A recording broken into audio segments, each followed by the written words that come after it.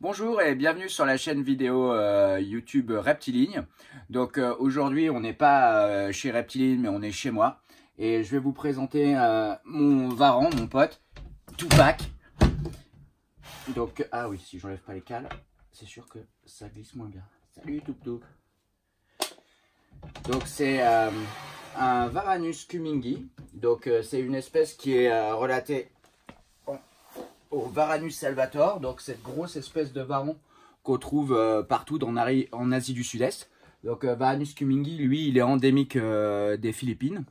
Donc il a une coloration hyper jaune. Bien, tout, tout. Donc là, aujourd'hui, je vais vous montrer comment on fait du renforcement positif. C'est-à-dire qu'en fait, pour un animal comme ça, moi, je suis un prédateur. C'est-à-dire que je suis une menace, un danger.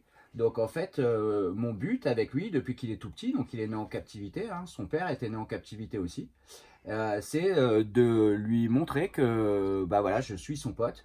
C'est des animaux très intelligents, vous voyez, ils peuvent faire la différence entre la nourriture et ma main. Donc là, maintenant, il est assez habitué à moi, donc il, vient, voir un petit peu ce qui se passe, il vient me sentir et tout, il n'a il a pas peur. Donc, pour arriver à ce résultat-là, j'ai passé beaucoup de temps avec lui pour qu'il me connaisse, il connaît ma voix, il connaît mon odeur. Et là, vous voyez, il est parfaitement en confiance. Donc, euh, des fois, il peut avoir des petits mouvements de recul, comme là. Mais quand on les aborde et qu'il flippe un peu, il faut toujours les aborder par le dessous. Jamais par le dessus. Vous voyez, là, il s'est gonflé parce que je l'ai abordé par le dessus. Alors, quand on le fait par le dessous, ça va. Alors, l'idée, c'est de lui faire de la désensibilisation. C'est-à-dire qu'il ait moins peur de moi. Non, tu vas Et pour ça, il faut toujours que son rapport avec moi soit euh, positif. Donc, euh, la première chose qu'on utilise, c'est la nourriture. Donc là, aujourd'hui, je vais lui donner des fruits de mer. Parce que les salvators, ils sont carnivores, donc ils adorent euh, manger toutes sortes de, proies carnées. Donc ça peut être des oiseaux, ça peut être des rongeurs, ça peut être des fruits de mer, puisque bah, c'est un varan qui est souvent dans l'eau. Euh, donc euh, proche euh, des côtes. souvent, ils vont voler les poissons des pêcheurs. Donc là, par exemple, c'est une moule. Ah ça, vous voyez, il a, eu une, attaque beaucoup plus sur la moule. C'est vrai, c'est marrant.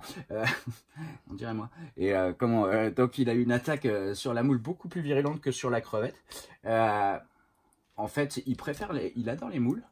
Alors, vous voyez, pendant qu'il mange, ce que je fais, souvent, c'est que je vais le tripoter. C'est-à-dire que je vais lui prendre sa main et puis je vais lui donner à manger, il a senti la avec sa main dans ma main. Voilà.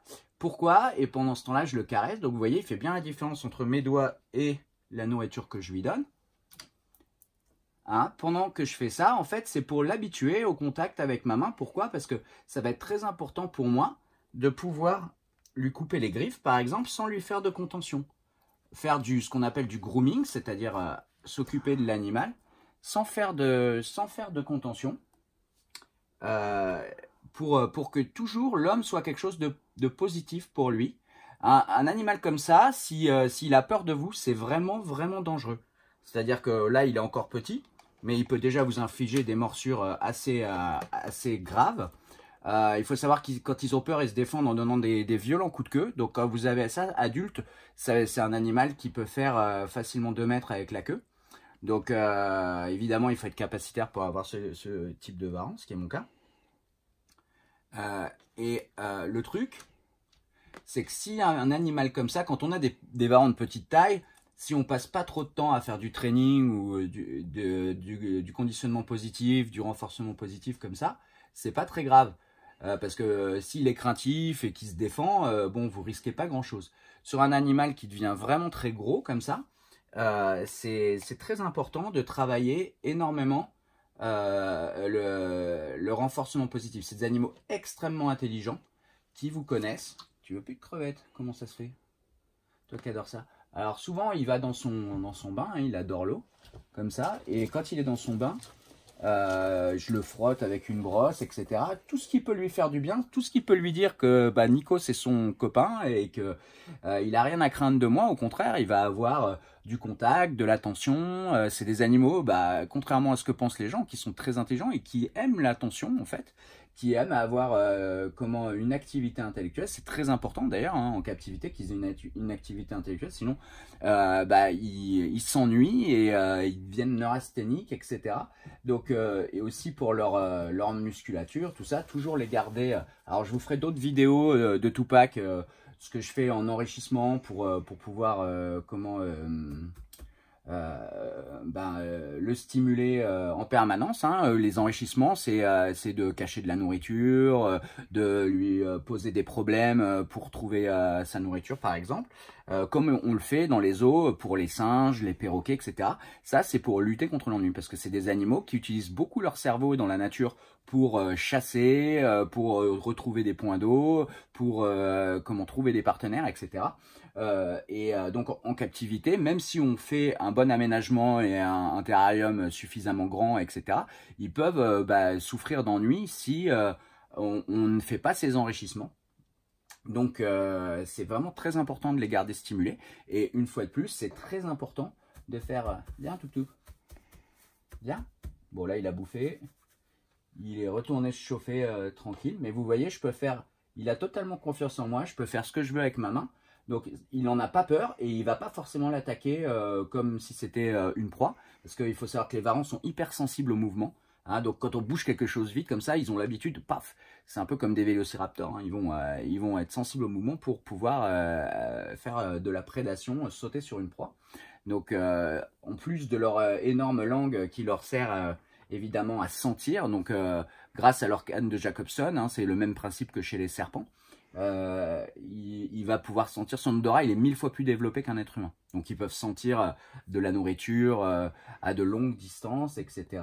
sur les dragons de Komodo, ils ont fait des études, c'est jusqu'à plusieurs kilomètres, 3 kilomètres je crois. Donc ces gros varans-là, voilà, c'est vraiment un peu la même chose. Donc c'est très important quand vous avez un animal comme ça de le sociabiliser, de l'habituer à vous. Parce que autant c'est un véritable bonheur de, travailler avec ces animaux euh, quand ils sont comme ça habitués qu'on travaille avec eux au quotidien. Euh, autant quand un animal comme ça euh, a peur de vous, donc est sur la défensive, c'est vraiment une tannée quoi. C'est une tannée pour lui faire des soins, c'est une tannée pour s'en occuper. Ils peuvent même vous, vous attaquer pour, vous, pour se défendre parce qu'ils se sentent acculés dans leur terrarium. Donc c'est vraiment pour moi bénéfique pour tout le monde, c'est bénéfique pour l'animal parce que vous allez vraiment le stimuler intellectuellement, il a besoin de ça. C'est bénéfique pour vous parce que bah, vous allez euh, prendre beaucoup moins de risques et euh, vous allez pouvoir mieux vous occuper de votre animal, lui couper les griffes parce que bah ils ont des griffes extrêmement tranchantes. Hein, vous pouvez voir, même en lui coupant les griffes, j'ai quand même des marques.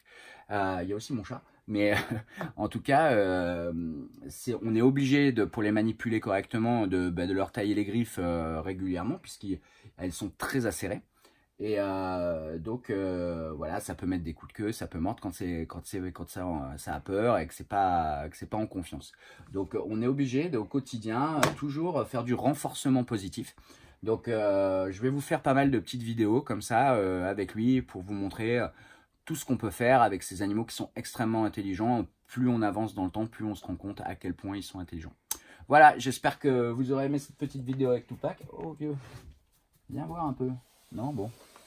Il vous dit au revoir et euh, on se revoit bientôt euh, sur la chaîne euh, Reptiligne.